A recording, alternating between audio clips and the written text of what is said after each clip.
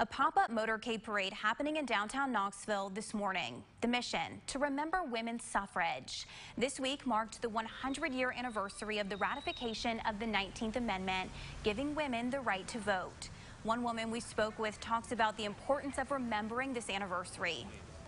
Because how many years were women oppressed and could not vote?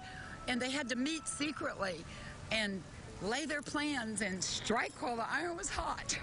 I think they think, thank God, somebody's remembering who and what this event is women's suffrage and remember it well. So remember our troops. They're the ones that fought for the freedom for the women to have the right to vote.